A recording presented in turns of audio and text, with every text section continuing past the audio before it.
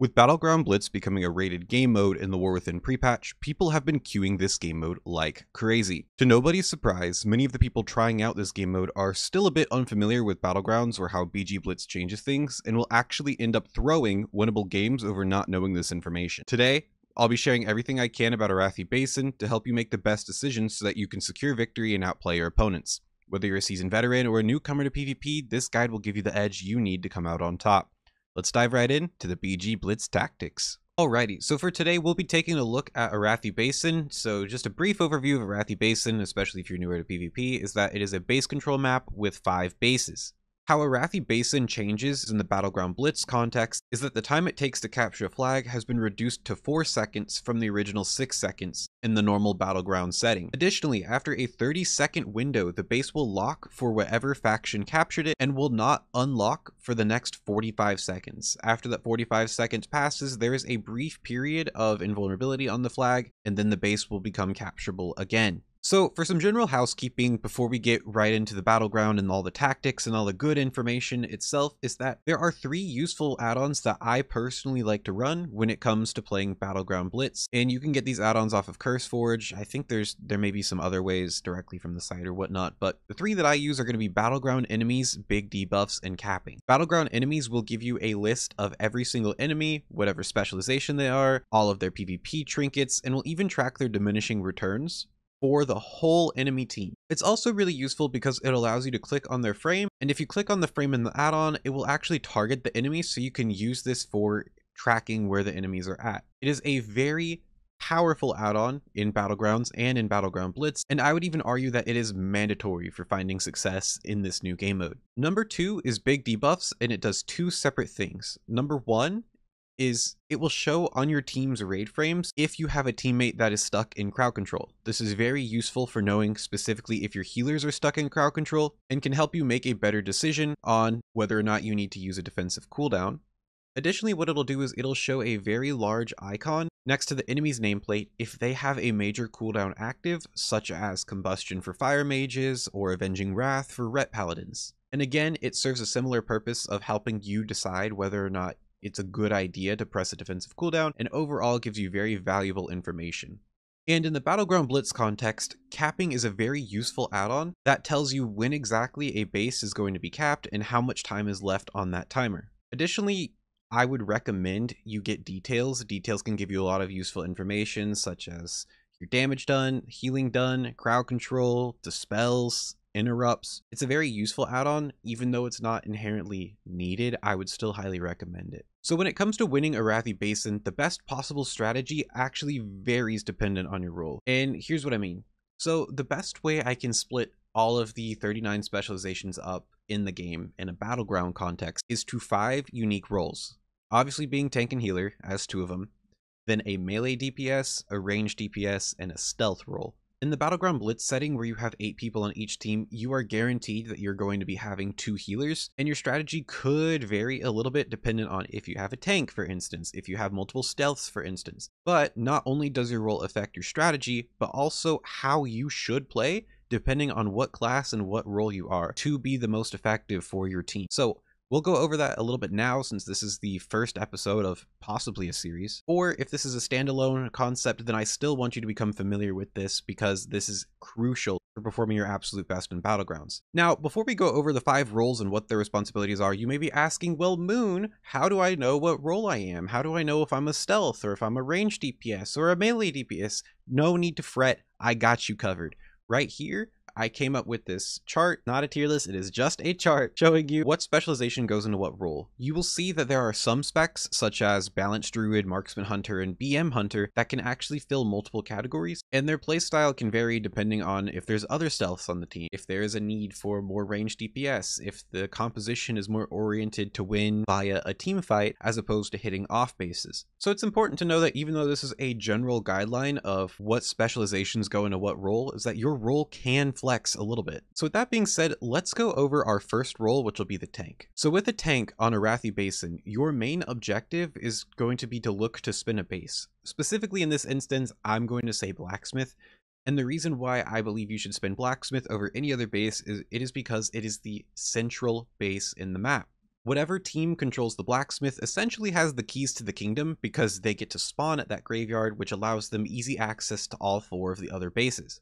What do I mean by spin a base? Essentially what you're going to do is you are going to rotate through defensive cooldowns while using your offensive abilities on top of the flag of that base. And essentially what you're doing as a tank is you are being there, you're being annoying, you're being a nuisance to try to kill. Rather than trying to directly take the base, for instance, you are more so trying to block the enemy team from capturing the base. And so what this does by spinning Blacksmith or by, by spinning a base in general as a tank is that you are creating space for your other teammates to try to make plays off of. There's a saying that goes along the lines of an ounce of prevention is worth a pound of cure. It's sort of the same thing where an ounce of disruption is worth a pound of trying to make up for your team losing a base. And lastly, you're going to try to bait unfavorable fights for the enemies. As a tank, let's say you have three or four people that come to the blacksmith and they're trying to kill you and you're able to stall them out for a really long time. This is a good thing.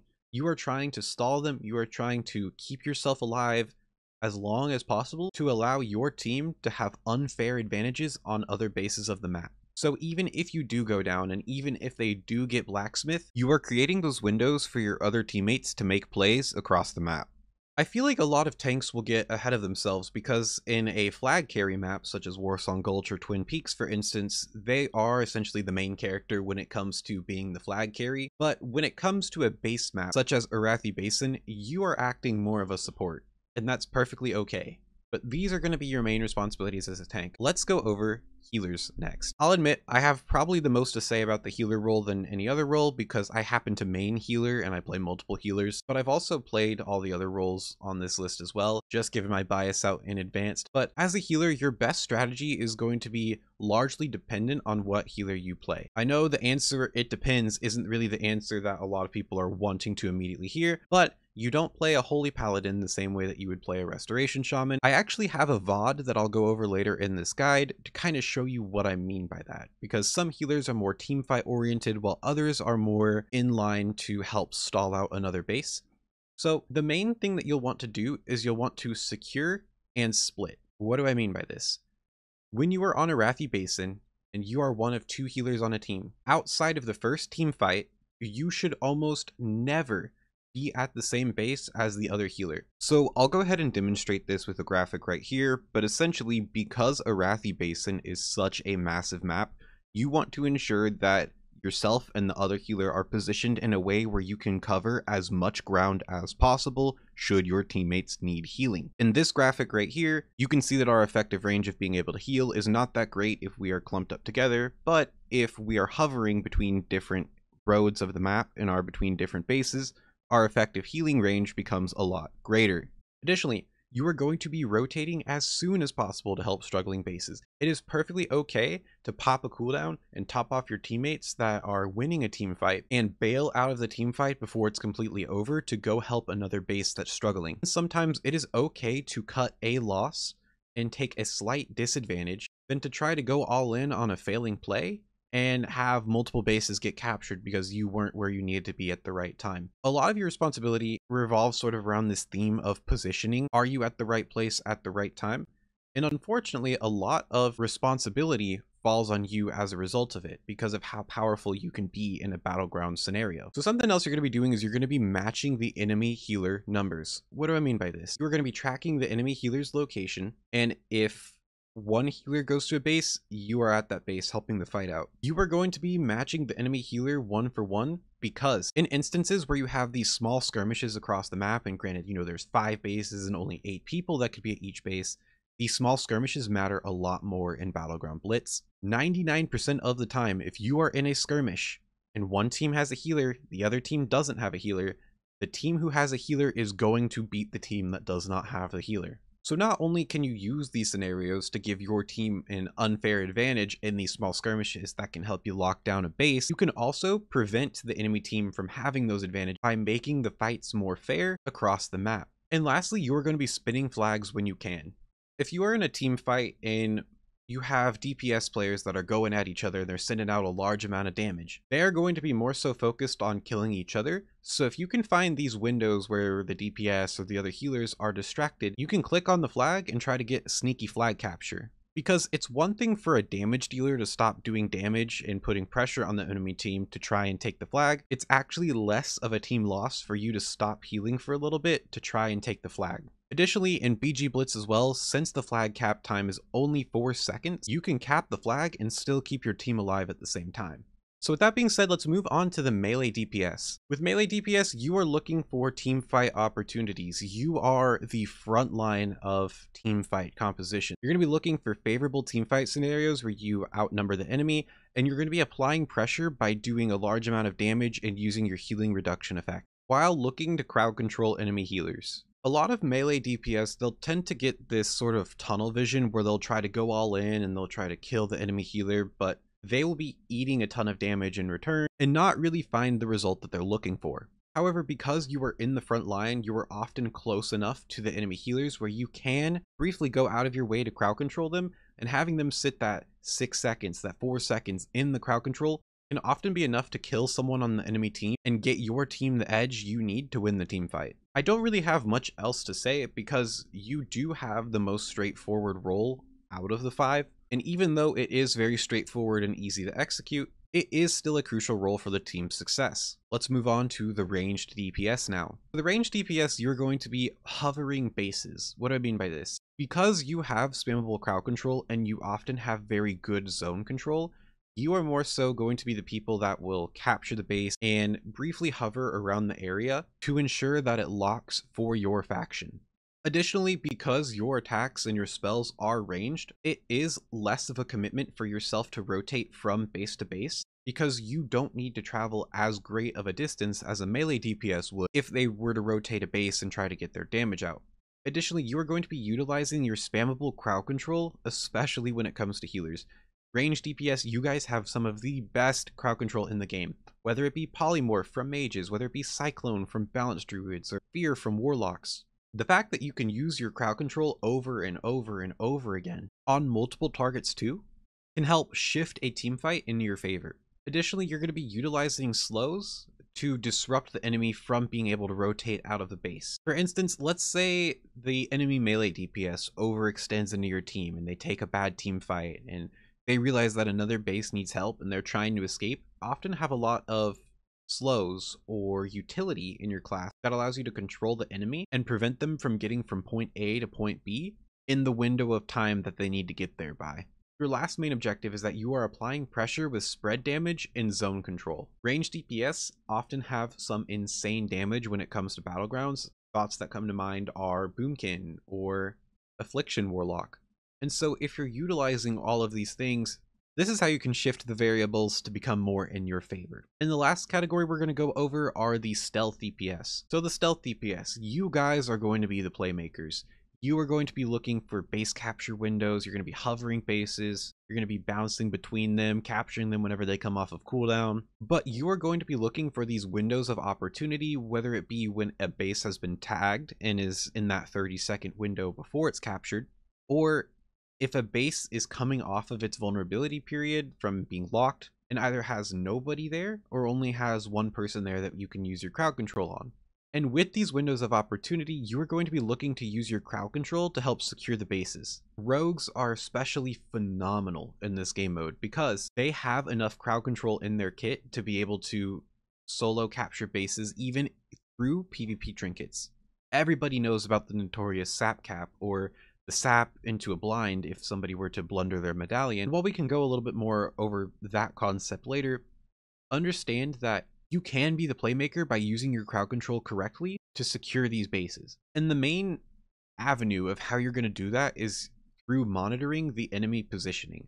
So by using an add-on such as Battleground Enemies, you can click through everybody's nameplates so you can tell what bases don't have people at them to where you can look to go hit more often than not, if you are a stealth class, if you're like a rogue or a hunter or a druid or something like that, you're often not going to be in blacksmith at all. You're going to be looking for these plays either on the outside of the map or you're going to be looking for the plays on, on opposite ends of the map like stables and farm. Now that that's out of the way, let's go over the main strategies when it comes to winning Arathi Basin. The most popular strategies are the three base strat and the four base. strat. Three bases are going to be a little bit better for if you have a team fight heavy team, so a team with a lot of melee DPS, or with teams that have range DPS such as a Frost Mage or an Affliction Warlock. And the 4 base strategy will be better for teams that may be a little bit weaker in team fight but have more stealth DPS on their team.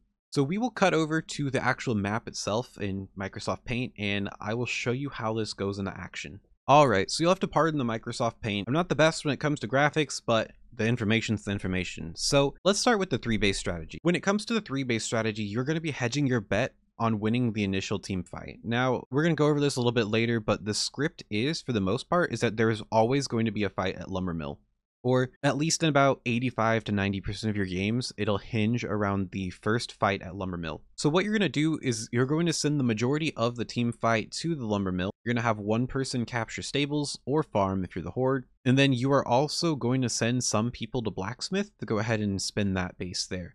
So you're probably going to want to commit both of your healers to the lumber mill fight, and then you're going to want to commit one of the more survivable DPS, such as like a druid, to blacksmith, or you might even want to have one of the healers peel out. But this will largely depend on the number of people that the enemy team commits to sending to lumber mill. Now, with the four base strategy, you are still going to be sending some people to lumber mill, and I would even argue sending one of your healers to lumber mill, but your objective is not going to be to win the team fight at lumber mill your objective is instead going to be to stall out the fight for as long as possible so that your other teammates can hit the other bases. So let's say you're Horde in this instance and you want to go for the four base strategy. You're going to send one healer to Lumbermill. You're going to send either your tank or you're going to send a DPS and a healer to blacksmith. You're going to put one person at farm and then you're going to go for mines. Rather than say sending four or five people to lumbermill, let's say you send only three and you send the remaining people to mine. This will almost guarantee that you win this mines fight because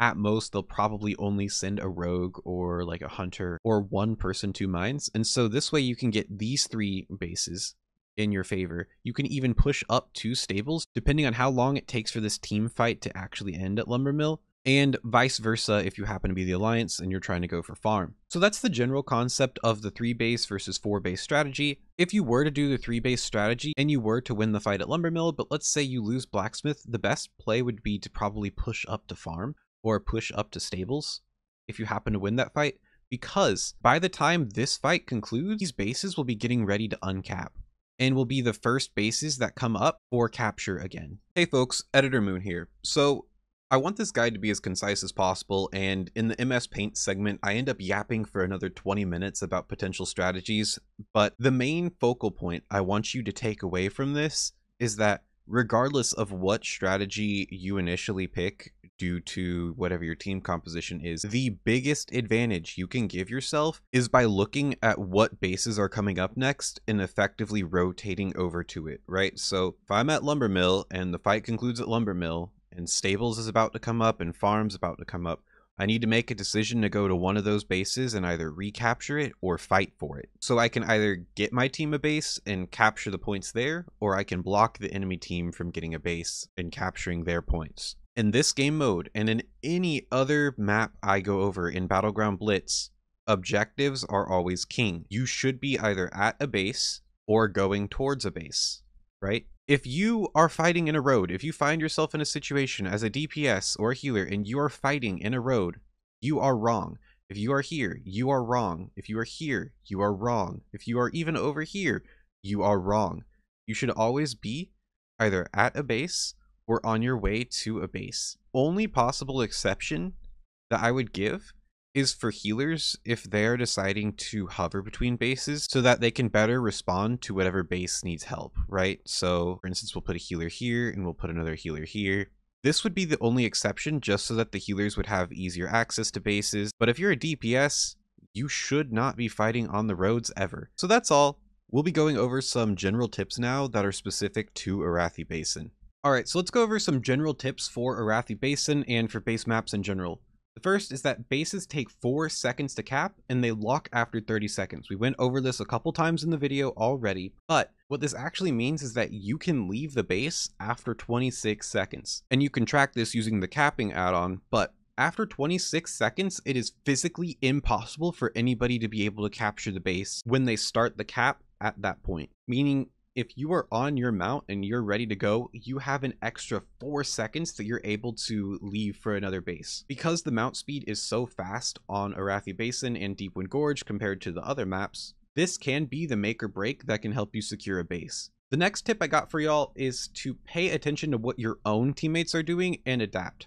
I know we went over some sample strategies that you can use earlier, but it's important to understand that in this solo duo game mode, not everything is going to go optimally and you cannot control what the other six or seven people on your team are doing. So more often than not, you may have to take a suboptimal strategy when it comes to the game that you're in, and that's totally okay one of my old homies who I used to play with that ended up teaching me the game and ended up teaching me how to become a good battleground healer told me that eight people doing the wrong thing together is often better than one person trying to go against the grain and do the right thing. We had a situation even today in another Battleground Blitz where we had a few people on the team that wanted to go with this absolutely bonkers strategy that would just be very difficult to pull off since we weren't coordinated.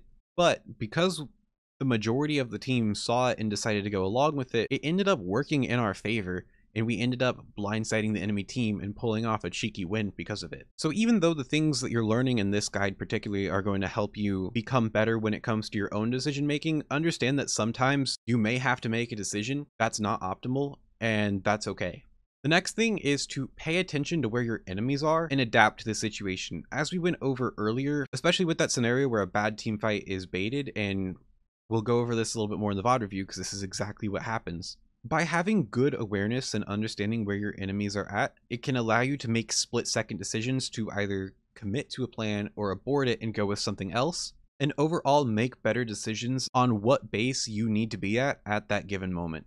So much of the importance of Arathi Basin and of these base maps is being at the right place at the right time, fulfilling your role on the team and allowing your teammates to be able to have an easier time to succeed. You doing your role to the absolute best of your ability is not going to be the determining factor all the time on if your team wins or loses, but it will make it easier for your team to do their roles correctly. Tip number four, and this is so, so, so important for you folks that are newer or maybe a little bit lower rated in these base maps, such as Arathi Basin, fight on the flag and hover off the flag.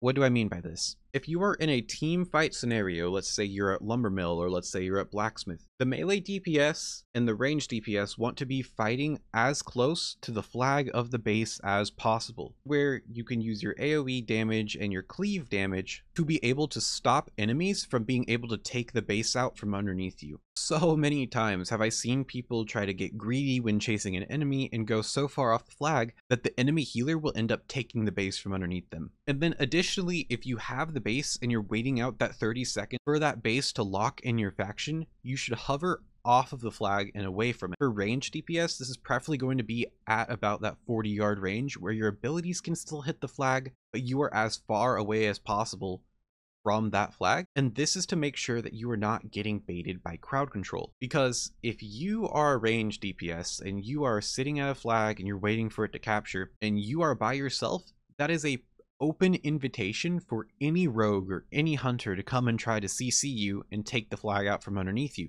It is the absolute worst feeling in the world to be sap capped, is what the, the phrase is called, where you are sapped for six seconds and the rogue just takes the flag and you can do nothing about it. When you get a little bit higher up as well, rogues will often try to bait you to use your medallion by sapping you first and faking a cap, where whenever you trinket, you get blinded out of it and the rogue will then still get the flag because there's nothing you can do to get out of that blind. So ensuring that you are playing a safe distance away from the flag is going to help your team drastically. And the last tip and the most important tip I could give is to never blunder your medallion. This goes for anyone, regardless of what role you are. A lot of people, they'll get greedy, they'll get caught up in the moment where they're trying to land an important kill. They'll use their medallion aggressively to break that crowd control, but then they'll eat a polymorph, or then they'll eat a fear, and that's enough for somebody to take a flag out from underneath them, stall for 30 seconds, and lock the base, because they got greedy at that, that right time and that right moment. Now, if you've exhausted absolutely everything, and you see the enemy still trying to capture the flag and you need to stop that capture from happening, it's totally okay then to use your trinket in that scenario. But understanding that your crowd control trinket is very important and it not being up for two minutes or a minute and a half you're a healer is a much bigger deal than you would expect, doubly so because Battleground Blitz is a faster game pace than a regular Arathi Basin Battleground. So now that we got some general tips out of the way, let's go ahead and go on over the VOD review that I have. This is a Battleground Blitz that I just played earlier today. We're going to be taking a look at what went right, what went wrong, and breaking down some of the concepts we talked about earlier in real time. So that being said, let's go ahead and get right on over to the VOD review. All right, so we got ourselves a Battleground Blitz game of Arathi Basin that I just played today. So we're going to be going over what went right, what went wrong, and touching on some concepts that I went over in the guide previously. So something you should be doing, especially as a Shaman player, is give everybody water walking. I do that, and then I tell everybody in the chat that they have water walking. Death Knights have this too, but especially if you're on the Alliance side of Arathi Basin, it gives you easier access to Blacksmith since you have a direct path, and you can actually get to the flag before the Horde does if you have water walking. Game starts in 7 seconds. We don't have a strategy going in. I am just going to follow the default strategy of going to the lumber mill fight, reacting to what the enemy team does, and going from there.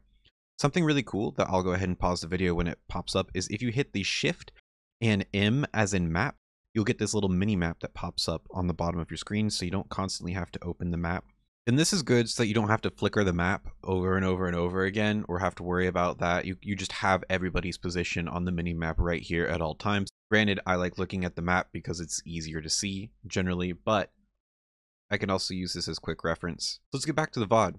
So right now, I'm just clicking through both the healers, the Mistweaver and the Discipline Priest, and I see that both of them are going to be committing to this Lumber Mill fight.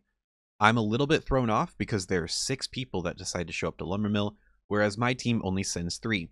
But we take a look at the current map situation. I know it's a little bit hard to see, so I wonder if I can maybe get this bar to disappear. I'll go ahead and take a screenshot of that minimap and then put it up on the screen right now, but as you can see, my monk decided to commit to mines. One of the warlocks, the Death Knight, and the Holy Paladin decided to first cap stables and then rotate over to blacksmith, which means that there's only four of us at this lumber mill fight compared to the six people on the enemy team. So I immediately know that my objective is not going to be to win this lumber mill fight, but to stall it for as long as possible and spin the flag to prevent the enemies from capturing it. So, so we'll go ahead and see how this fight plays out. As you can see, I'm just throwing out cooldowns. I'm trying to keep my team alive as long as possible. This Mistweaver is going to be the person of interest in this fight. We're going to go ahead and stun him, do anything we can to prevent him from going onto the flag.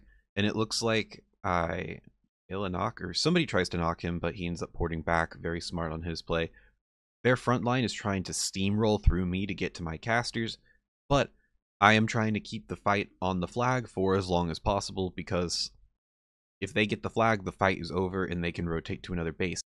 And just because of that, what's happening in the background is we got stables, we were able to get mines. My Windwalker ended up winning a 1v1 versus their hunter. We were able to get blacksmith because we baited them into staying at lumbermill as opposed to aborting and going over to blacksmith. And we are able to clutch up farm because I believe they decided to sit their demon hunter at farm, but the people that were at blacksmith ended up rotating over to farm to take that base too. So we are already at a massive advantage and we are going to get four bases off the rip. I end up blowing my CC trinket here because I get in crowd control. So I'll go ahead and rewind that 10 seconds for you. I ground the ultimate penance. But if I were to sit this full fear, they would get the flag cap and I still am trying to stall even though we have four bases just to limit the response. So I am going to blow my trinket here, position myself to where I can get a knock, and I hit a really good knock, being able to hit both of their healers off the base. Unfortunately for me, what happens next is that the Elemental Shaman lands a really sick knockup with Burrow into a Thunderstorm and throws me off the cliff too. I hit Wall, but I don't think Wall does anything for fall damage, I actually end up living getting knocked off the cliff because I am a panda and my racial bouncy allows me to take half fall damage. Not saying you should play panda for that specific reason, I just like playing panda. But I already see, if you look over to the right, that stables is about to come up in 4 seconds. So I'm going to take another look at my map here shortly and then orient myself to head towards stables. Death Knight's pinging for assist, which I personally don't mind if you ping a lot. Some people will get annoyed. I know some people have even decided to tune out of my channel because of how much I ping, but personally, I like the system. I like being able to use it in a way to get somebody's attention. I like the sound effects that it makes. It's very good for communicating with your teammates, and you really should have them enabled. That being said, you shouldn't be spam pinging assist on your healer if your healer is pissing you off, right? There are good ways to use pings and there are bad ways to use pings. So I let the DK know that I'm on my way, and it looks like their Mistweaver is actually going over to stables too.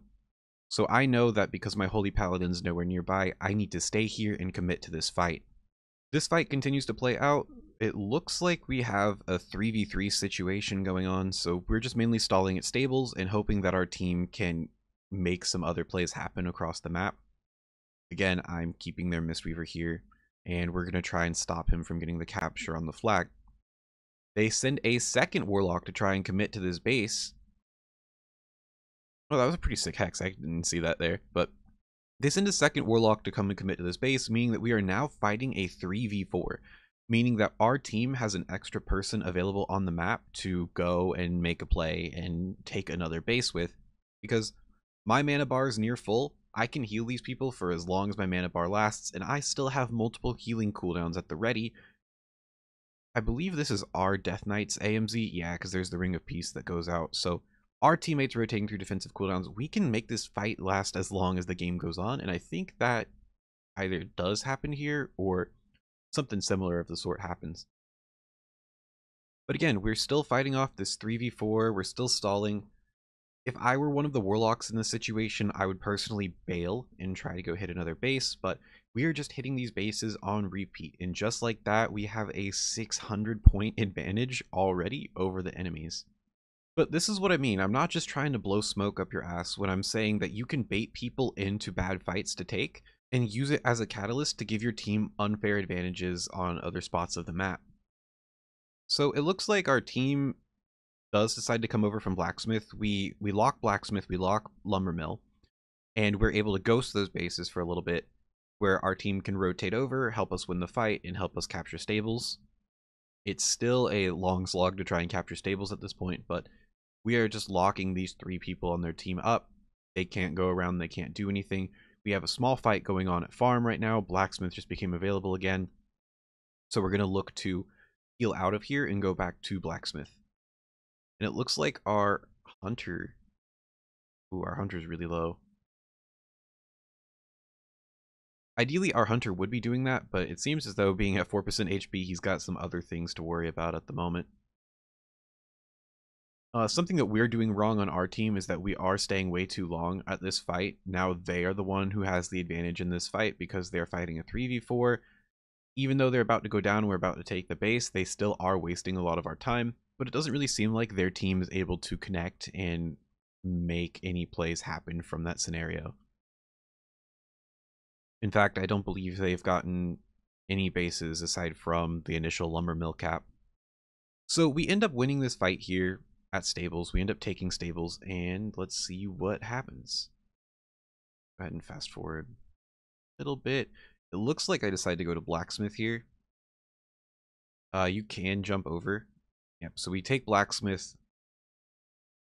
With the mount speed, what I was going to say is you can jump on the boxes, so it is possible to get over to Blacksmith super quick, but it does take some finessing to do, and I ended up missing it in this photo, so no need to worry about that, but we run through Blacksmith because it's fine, there's no immediate threats there, and we go to push in a farm, but I realized that the other healer is here, and I really should not be here for super long. So I drop my Healing Tide Totem, I drop some initial heals, I dispel the other healer from the Hex, I knock everybody off of the flag, and then I start to make my way out.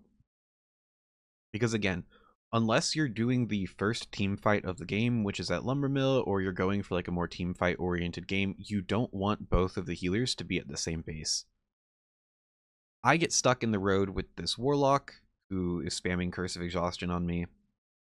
I'm trying to crowd control him for a little bit. And really, that's a big mistake on my part. I should not be stuck in the road for any reason at all. Um, but I am heading towards Blacksmith, and at that point, it doesn't matter because we just win the game outright. So, this game took place at about 1600 MMR. It is your very standard, average, run-of-the-mill game. I know MMR is a little bit all over the place just because rating was only added in a few days ago, so it will take a couple weeks for everybody to get sorted out.